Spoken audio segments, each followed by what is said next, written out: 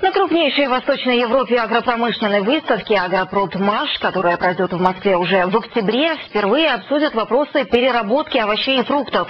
Тема для дискуссионной площадки выбрана не случайно. Российские поставщики сырья вышли на необходимые обороты, но столкнулись с другой проблемой – нехваткой перерабатывающих предприятий.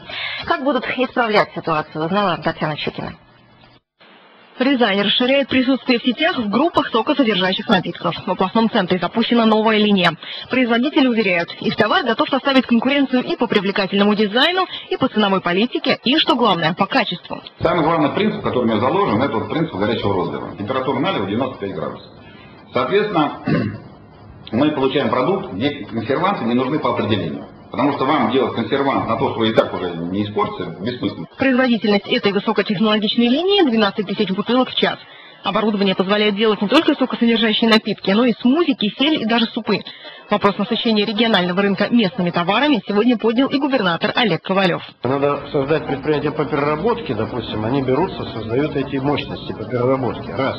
Значит, но перерабатывать они смогут те овощи, которые подходят им по сортам, по размерам и так далее. Значит, мы должны увязать работу сельхозпредприятий вместе с ними. В ближайшие несколько лет в Старожиловском районе должен появиться целый комплекс по переработке овощей и фруктов. Контракты намерены заключать рязанскими сельхозпроизводителями, которые смогут не беспокоиться о рынке сбыта выращенной продукции. А потребитель получит еще несколько десятков наименований товаров, среди которых полезные снеки, соки и пюре.